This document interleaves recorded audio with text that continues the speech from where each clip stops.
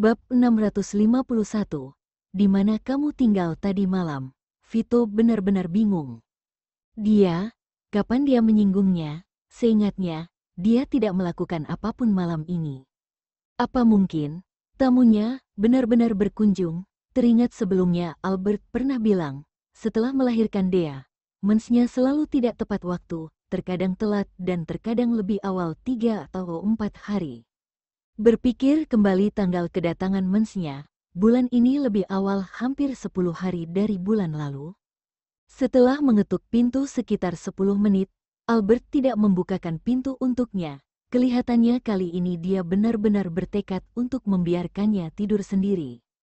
Tak berdaya, Vito hanya bisa kembali ke kediamannya dengan ekspresi tertekan di wajahnya. Atau tanya dengannya lagi besok, di dalam ruangan. Meskipun kedap suara rumah ini bagus, Albert tetap bisa mendengar ketukan pintu di luar. Mendengar ketukan pintu, Albert segera melihat kamera pengintai. Dia melihat Vito mengetuk pintu selama sekitar 10 menit, lalu berbalik dan kembali ke tempat tinggalnya di sebelah. Hicks akhirnya mengalahkannya sekali. Vito kembali ke kamarnya. Setelah mandi, dia mengeringkan rambutnya berbaring di ranjang tapi tidak merasa ngantuk. Dia mengambil ponselnya dengan kesal, lalu masuk ke forum, dan memperbarui rutinitas harian, begitu keluar dan kembali. Aku menemukan Berta telah mengunci pintu dan mengatakan mensnya datang, lalu memintaku untuk tidak mengganggunya dan mencari tempat tidur malam ini sendiri. Kalau berani mengganggunya, dia akan langsung membunuhku. Menurut kalian, apakah Berta benar-benar datang mens? Netizen 1, tidak tahu mengapa, terpikir dua hari yang lalu pria kaya memamerkan dirinya tinggal di tempat Berta dengan bangga. Dan dibandingkan dengan tampilan bingung saat ditolak di luar pintu malam ini, aku benar-benar ingin tertawa. Ha, ha, ha, ha, ha, ha. Netizen 2, tenanglah, pria kaya, gadis memang memiliki beberapa hari yang agak emosional setiap bulannya. Seperti diriku, Terkadang juga merasa suamiku agak menyebalkan dan ingin membantingnya. Netizen 3, apa yang dilakukan pria kaya di luar malam-malam gini? Mungkinkah Berta mendengar beberapa rumor dan marah? Netizen 4, papan cuci, keyboard, durian, apakah pria kaya membutuhkannya? Aku memberimu diskon 20%. Ha, ha, ha, melihat komentar-komentar ini, Vito ingin merangkak melalui internet dan memberikan ledakan pada kumpulan sampah yang senang mencelakainya. Dia tidak percaya, dan membolak-balik komentar lagi, melihat seseorang mengatakan dengan ramah bahwa Berta sedang mens, menyarankan pria kaya harus menyiapkan air gula merah. Jangan terlalu lengket padanya, kalau tidak Berta akan merasa lebih kesal. Air gula merah, Vito segera membuka memo ponsel, mencatatnya, dan terus membolak-balik komentar, mencatat semua yang menurutnya berguna. Setelah itu, dia memeriksa memo dengan hati-hati, kemudian tidur. Keesokan harinya, alarm berbunyi, Albert perlahan-lahan bangun, berbalik, melihat tempat tidur di sampingnya. Dia tertegun selama tiga detik, lalu teringat bahwa dirinya telah mengunci pintu tadi malam dan seseorang terpaksa kembali ke kediamannya.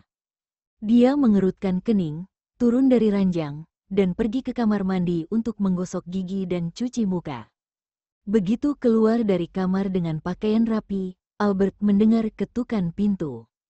Dia menarik napas dalam-dalam, menyesuaikan emosinya, mencari cara untuk menghadapi apa yang mungkin akan dia tanyakan nanti, kemudian pergi membuka pintu. Albert, selamat pagi, Vito berdiri di luar pintu, menyapanya dengan senyuman lembut. Pagi, dia menjawab dengan acuh tak acuh, memperhatikan sesuatu yang Vito bawa di tangannya. Aku telah membeli sarapan. Masuklah. Selesai berkata, Albert membalikkan tubuhnya ke samping dan membiarkannya masuk. Vito berjalan ke ruang makan berdampingan dengannya, dan bertanya dengan penuh perhatian, apakah kamu merasa tidak nyaman? Perlukah meminta cuti? Vito pernah mendengar orang yang sedang mens, Meskipun telah minum obat penghilang rasa sakit, tetap akan merasa sakit dan hanya ingin berbaring di tempat tidur. Albert tertegun sejenak lalu mengerti apa yang Vito tanyakan adalah menstruasi yang dia katakan tadi malam. Aku baik-baik saja. Sakitkah? Vito bertanya dengan sedikit gugup dan juga sedikit tertekan. Dia adalah seorang pria, guru biologi telah lama meninggal. Dia tidak bisa membayangkan dan mengerti bagaimana rasanya seorang wanita yang sedang datang mens. Tapi dia pernah mendengar setiap kali datang mens, akan melepaskan selapis-lapisan selaput rahim, begitu memikirkan pendarahan selama beberapa hari setiap bulannya, bahkan dia sebagai pria juga merasa sakit. Tadinya Albert ingin terus berbohong, tapi setelah berpikir, dia merasa jangan melakukannya. Dia tidak ingin menggunakan lebih banyak pembohongan untuk menutup pembohongan sebelumnya. Ah, sebenarnya belum datang, harusnya beberapa hari lagi. Albert mengeraskan kulit kepalanya dan mengakuinya, berhenti sejenak, lalu menambahkan, aku hanya merasa sedikit kesal. Vito, hati wanita bagaikan jarum di dasar laut, kata ini benar sekali. Kemudian terpikir beberapa informasi tentang mens yang dia dapatkan tadi malam, dikatakan bahwa beberapa hari sebelum mens datang, banyak wanita akan menjadi emosional dan mudah tersinggung. Cepat makan sarapan, Vito berkata dengan tak berdaya. Albert diam-diam meliriknya, lalu menghela nafas lega ketika melihatnya tidak menunjukkan tanda-tanda marah. Oh ya, di mana kamu tinggal tadi malam? Albert bertanya dengan santai sambil makan mie daging sapi yang lezat. Uhuk, uhuk, Vito tidak menyangka Albert akan tiba-tiba menanyakan hal ini. Dia terkejut dan hampir tersedak. Setelah menenangkan diri, dia menjawab dengan tenang. Ada hotel yang tidak jauh dari sini. Begitu bangun, aku sekalian membeli sarapan. Oh, Albert mengangguk, lalu mencibir dalam hati. Ha, ha, kalau bukan karena dirinya telah mengetahuinya sejak awal, pasti akan tertipu oleh penampilannya yang serius. Dasar, kemampuan akting ini cocok menjadi aktor. Istriku, bisakah aku kembali tinggal di sini malam ini? Vito segera mengubah ekspresinya dan bertanya padanya dengan sedikit kasihan. Itu tergantung suasana hatiku, kita bicarakan nanti malam. Albert menjawab dengan samar. Aku tidak terbiasa tinggal di hotel, dan tidak bisa tidur nyenyak semalaman. Vito terus pura-pura kasihan. Dia benar-benar tidak bisa tidur nyenyak. Meskipun hanya tidur dengannya selama tiga malam, tapi Vito telah kecanduan, Semalam tidur sendirian tanpa dirinya, tidak bisa mencium bau manisnya, kualitas tidurnya sangat buruk dan bangun beberapa kali. Aku sudah bilang tergantung suasana hatiku malam ini, makanlah sarapanmu. Melihat biru muda di bawah matanya, Albert merasa tidak tega, tapi dia tidak ingin menunjukkannya dan tidak ingin memberitahu Vito tentang jawabannya. Pria ini telah menjebaknya berkali-kali jadi dia harus menggagalkan semangatnya. Oh, baiklah, aku sudah sarapan. Melihatnya menjadi kesal, dan berpikir wanita mudah tersinggung ketika mendekati hari mens, Vito tidak berani terus bertanya. Setelah sarapan, mereka berdua pergi ke studio bersama seperti biasanya. Di tengah jalan, Albert, akankah kamu merasa sakit ketika datang mens? Vito mengemudi sambil bertanya padanya kalau bukan karena tadi malam Albert tiba-tiba bilang datang mens dan mengunci dirinya di luar, Vito juga tidak memperhatikan masalah ini. Fokuslah mengemudi mobilmu. Telinga Albert yang putih menjadi kemerahan. Dia tidak ingin membicarakan masalah ini dengan pria besar ini. Apa yang tidak bisa kamu katakan? Kita berdua adalah suami istri, dan kita akan bersama seumur hidup. Kamu harus memberitahuku, daripada aku menginjak ranjau darat dan membuatmu meledak. Vito mendengus dan berkata dengan serius. Bab 652. Kalian bertarung dulu. Apa yang tidak bisa kamu katakan? Kita berdua adalah suami istri, dan kita akan bersama seumur hidup. Kamu harus memberitahuku, daripada aku menginjak ranjau darat dan membuatmu meledak.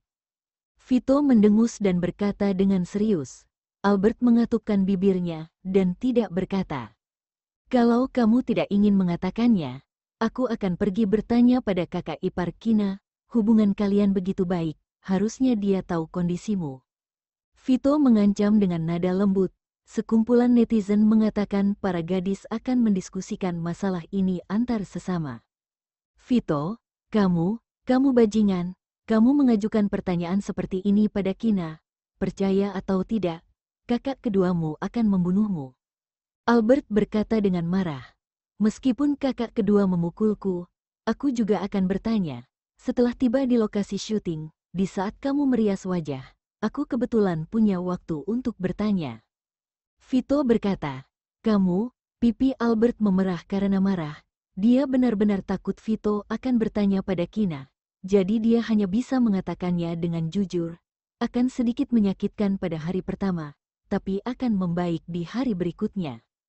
Albert lebih memperhatikan masalah ini, misalnya, dalam hal makanan. Meskipun musim panas, dia juga tidak akan menyentuh es atau makanan pedas pada masa itu. Dia lebih memperhatikan hal-hal sepele dalam hidup. Benarkah, sedikit sakit itu maksudnya seberapa sakit? Vito terus bertanya. Albert mencubit pinggangnya sendiri, lalu berpikir kulit Vito lebih tebal, jadi meningkatkan kekuatannya 3 hingga 4 poin, dan mencubit pinggangnya, lalu berkata dengan nada tidak senang, hampir segitu. Vito terdiam, Sepertinya tidak terlalu sakit, kemudian berpikir memang tidak terlalu sakit begitu mencubitnya. Tapi kalau seperti ini sepanjang hari, harusnya sangat tidak nyaman. Diam-diam dia memutuskan untuk meminta Kevin memberinya perawatan, agar Albert bisa merasa lebih nyaman. Tiba di lokasi syuting, setelah syuting sepanjang sore, Albert menemukan Matthew sepertinya menjadi semakin perhatian, dia bahkan datang mengajaknya makan siang dan juga mengatakan hari ini adalah hari di mana dirinya ditemukan belasan tahun yang lalu. Albert tidak ingat waktu yang sebenarnya, tapi setelah berpikir, dia ingat sekitar musim inilah keluarganya menemukannya. Meskipun Vito tidak mengatakan apa pun, tapi dia pasti akan datang makan siang dengannya. Tapi Matthew bilang ini adalah hari peringatan, Albert tidak tahu bagaimana menolaknya. Kebetulan Vito muncul pada saat ini, mendengar Albert mengatakan dirinya akan makan siang bersama Matthew, dan setelah menanyakan alasannya dengan jelas, Vito juga ingin mengikuti mereka. Lelucon, kalau tidak begini, istrinya akan segera diculik. Maaf, Tuan Sealer, kami tidak tahu hari ini adalah hari yang penting, jadi aku dan Albert tidak menyiapkan hadiah. Vito yang kerasukan roh aktor, tersenyum meminta maaf. Tidak masalah, ini adalah hari peringatan antara aku dan Lily. Sangat normal kalau tuan muda ketiga tidak mengetahuinya. Matthew tersenyum acuh tak acuh, sedangkan aku dan Lily, kami sudah saling kenal selama bertahun-tahun, tidak perlu menggunakan hadiah untuk menghubungkan perasaan. Lily, benarkah? Uh, ya, Albert hanya merasa kata-kata Matthew kebetulan bisa menghilangkan kecanggungan dirinya tidak menyiapkan hadiah. Wajah Vito menjadi suram. Melihat wanita ini masih dalam keadaan bingung, dia tahu Albert pasti tidak mengerti maksud dari kata-kata Matthew. Ada berapa hari peringatan yang dimiliki Tuan Sealer dan Albert? Ingatan Albertku terlalu buruk. Mungkin tidak bisa mengingat hari-hari itu. Coba kamu katakan, lain kali kami juga akan menyiapkan hadiah. Mengenali diri dan musuh, agar bisa menang dalam segala pertempuran. Tidak masalah meskipun Lily tidak mengingatnya. Cukup aku yang mengingatnya, ini lebih mengejutkan. Matthew tersenyum dan menolak kata-katanya, kalau memberitahu Vito, mungkin dia tidak akan menemukan kesempatan untuk mengajak Lily lagi. Merasa suasananya agak menakutkan, Albert segera mengalihkan perhatian mereka berdua. Ayo pesan makanan dulu. Dan dilarang bicara di saat makan. Albert takut ketika kedua pria ini membuka mulut mereka. Perang yang sengit akan menghancurkannya berkeping-keping. Kedua pria itu memandang satu sama lain dengan tatapan tajam dan dingin seperti pisau es, dan membuka menu dalam waktu bersamaan.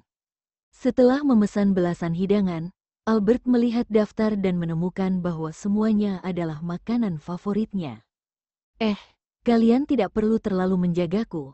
Kalian bisa memesan sesuatu yang ingin kalian makan. Albert berkata malu-malu, kamu tahu seleraku hampir sama denganmu. Vito menatap Matthew dengan provokatif. Lily, aku pesan sesuai seleraku. Apa mungkin makanan yang aku pesan adalah favoritmu juga? Matthew tersenyum dan menjawab dengan tidak mau kalah. Benar juga, aku ingat sebelumnya di panti asuhan, kamu selalu memberiku yang enak. Mungkin mulai saat itu seleraku sudah diubah olehmu dan mengikutimu. Albert, Albert merasa dirinya adalah umpan meriam dalam pertarungan antara kedua pria ini. Tiba-tiba, dia tidak ingin berbicara lagi. Meskipun dia telah meminta mereka untuk tidak bicara di saat makan, tapi tetap tidak dapat menghentikan kedua pria yang saling bertentangan, meminta mereka untuk tidak bicara. Mereka malah sibuk mengambilkan lauk untuknya, membuat makanan di mangkuknya tertumpuk tinggi.